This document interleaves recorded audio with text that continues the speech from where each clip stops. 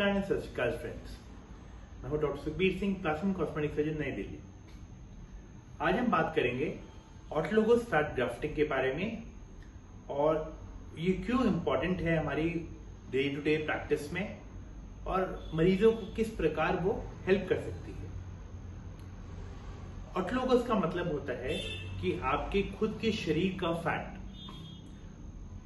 Autologous fat grafting का मतलब होता है कि आपके शरीर से फैट लेते हैं और उसी फैट को हम पतला करके यूटिलाइज कर सकते हैं या इस्तेमाल कर सकते हैं कहीं भी करेक्शन के लिए। अभी किस किस काम आता है ऑटोलोगस फैट ये समझने की बात है। बहुत सारे काम होते हैं बिकॉज़ ऑटोलोगस फैट में स्टेम सेल होते हैं, जो हमारे रिजुविनेशन प्रोसेस में बहुत हेल्प करते हैं। रीग्रोथ में हेल्प करते हैं। जैसे फेस की बात करते हैं तो कहीं भी डिप्रेशन है चीक्स के अंदर, कोई इन्फेक्शन हो गई डिप्रेशन हो गया, या एक्ने स्कार मार्क्स हैं जो बहुत डीप हैं, या स्कार्स हैं सर्जरी के, बहुत पुराने कोई चोट के स्कार्स हैं, कुछ ब्लेजर से भी इंप्रूव नहीं हो रहे तो उन केसेस में ऑटोलोगस फैट का बहुत अच्छा रोल है। आजकल हेयर रीग्रोथ में भी पीआरपी और ऑटोलोगस फैट को मिक्स किया जाता है कंसंट्रेशन के हिसाब से। और बहुत सारे एडवांटेजेस हैं ऑटोलोगस फैट के, जैसे कि किसी को ब्रेस्ट इम्प्लांट नहीं करवाने। एक फीमेल है यंग फीमेल है, उनको अपना साइज़ इंप्रूव करना है बट उनको इम्प्लांट मतलब फॉरन मटेरियल नहीं कराना तो क्या उपाय है? हम आपकी पेट की चर्बी ले सकते हैं, या कहीं से भी निकाल थाई से निकाल सकते हैं, पीठ से निकाल सकते हैं, या कहीं भी जहाँ रिक्वायर्ड नहीं है, वहाँ से निकाल के हम आपके ब्रेस्ट में डाल सकते हैं ताकि एक ब्रेस्ट एनहांसमेंट हो सके।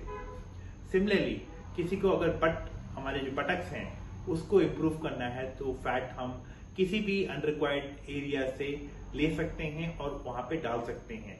तो बटक एनहांसमेंट काफ एनहांसमेंट या काफ रीशेपिंग तो हम किसी भी एरिया को रीशेप करना हो या कहीं भी डिप्रेशन है बॉडी में, चाहे वो चेस्ट में है, पोस्ट गाने को मैथिया या शरीर में किसी भी हिस्से में है ड्यू टू सम रीजन या तो पहले ऑपरेशन हो चुका है, या कोई इन्फेक्शन हो गई थी जिसकी वजह से वो गड्ढा बन गया है, या स्कार है जो हील नहीं कर रहा तो उन केसेस में ऑटोलोगस का बहुत अच्छा रोल है।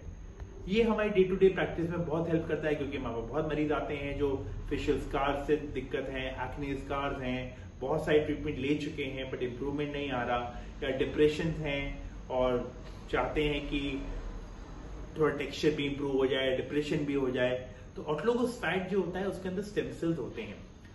नाउ ये स्टेम सेल्स क्या करते हैं? ये बेसिकली उस एरिया को रिजुमिनेट करते हैं कोलाजन बूस्ट करते हैं टेक्सचर इंप्रूव करते हैं स्किन सॉफ्ट हो जाती है स्कार सॉफ्ट हो जाता है एंड एक ओवरऑल ग्लो आता है उस एरिया का एंड जो डिप्रेशन है, उसका भी इंप्रूवमेंट हो जाता है।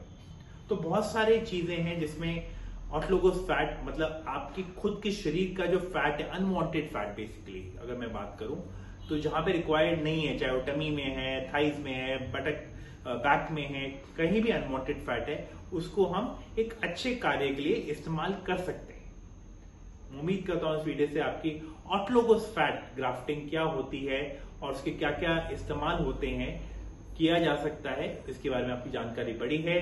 अगर आपको हमारा वीडियो पसंद आया प्लीज़ लाइक एंड सब्सक्राइब कीजिएगा। देखने के लिए बहुत बहुत धन्यवाद। थैंक यू सत नमस्कार।